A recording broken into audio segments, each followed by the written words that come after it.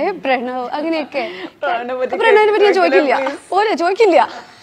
മടുത്തു. കാര്യം എന്താ അറിയോ? ഇവരൊന്നും പറ്റി അറിയാം നമുക്ക് വേറെ വഴിയില്ല. ഇപ്പൊ പ്രണവ് ഒരു ഇന്റർവ്യൂ തരൂല. ഏ വേറെ ഒരു രീതിയിൽ നമ്മൾ ഇൻസ്റ്റാഗ്രാം നോക്കുമ്പോ അധികം കാണാം ഒരു ഒരു മല. അല്ലെങ്കിൽ ഒരു പുഴ. അതൊക്കെ കാണുള്ളൂ. പുള്ളിക്കാരനെ പറ്റി ചോദിക്കാൻ ഒരു സോഴ്സ് ഇല്ല. അടുത്ത് നിൽക്കുന്ന ആളാണ് കല്യാണി. അതുകൊണ്ട് ചോദിക്കണ്ടെങ്കിൽ ചോദിക്കണ്ട. വേണ്ട നമുക്ക് അപ്പൊ ഞാൻ ചോദിക്കട്ടെ അതേപോലെ തന്നെ. ഇനിയിപ്പോ വിനീതേട്ടന്റെ ഏതെങ്കിലും പടം കമ്മിറ്റ് ചെയ്തിട്ടുണ്ടോ? വർഷങ്ങൾക്ക് ശേഷത്തിൽ ഞാനൊരു സ്പെഷ്യൽ എക്സ്റ്റെൻഡഡ് സ്പെഷ്യൽ അപ്പിയറൻസ് ആണ് എനിക്ക്. അതിലിനി പാത്തു ആണോ? പാത്തു അല്ല. പാത്തു പാത്തു ബ്രേക്ക് പാത്തു ബ്രേക്ക് ആണ്. ഓക്കെ ഇനിയിപ്പോ അമ്മേന്റെ കാര്യത്തിൽ ചോദിക്കുമ്പോ തന്നെ അമ്മേന്റെ കൂടെ ഇനി ഒരു ഒരു റോൾ ചെയ്യണമെന്ന് ആഗ്രഹമുണ്ട്. ഞങ്ങൾക്ക് ആഗ്രഹമുണ്ട് അമ്മനെയും മോളെ ഒന്ന് ഒരുമിച്ച് കാണാൻ. ഒരു ആക്ച്വലി ഒരു അങ്ങനെ ഒരു നല്ല സ്ക്രിപ്റ്റ് വന്നാൽ I think will do it അമ്മ ഇപ്പോഴും ഇൻട്രസ്റ്റ് ആണോ അഭിനയിക്കാൻ? ആ I think she's also interested പക്ഷെ ലൈക്ക് ഒരു നല്ല റോളും നല്ല ഒരു സ്ക്രിപ്റ്റും വന്നാൽ may be she'll be interested ചെയ്യും. പറയാറുണ്ടോ?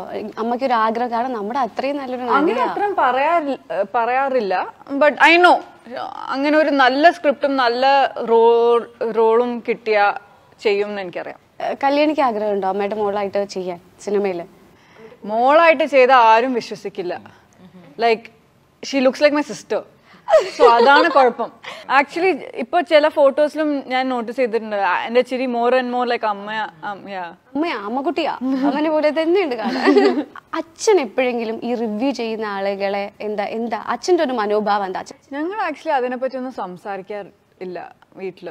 നമ്മൾ മോസ്റ്റ്ലി ഒരുമിച്ചിരിക്കുമ്പോൾ നമ്മൾ പാട്ടുകൾ കേൾക്കും അത്രേ ഉള്ളൂ. ലൈക്ക് രാത്രി ഞാനും അച്ഛനും അ- അച്ഛന്റെ ഒരു റെക്കോർഡർ ഉണ്ട്. അതിൽ കുറേ പാട്ടുകൾ കേട്ട് നമ്മൾ ഇങ്ങനത്തെ ടോപ്പിക്സ് ഒക്കെ ആക്ച്വലി അതിനെപ്പറ്റി ഒന്നും സംസാരിക്കും ഇല്ല ആക്ച്വലി ഒന്നുമില്ല. അച്ഛന് ഞാൻ ഏത് പടങ്ങൾ കമ്മിറ്റ് ചെയ്തിട്ടുണ്ടെന്ന് കൂടെ അറിയില്ല അച്ഛന്. ചോദിക്കൂ അച്ഛന്റെ അടുത്ത് ഇല്ല like he lets me do my own thing he trust me so nice അല്ലേ?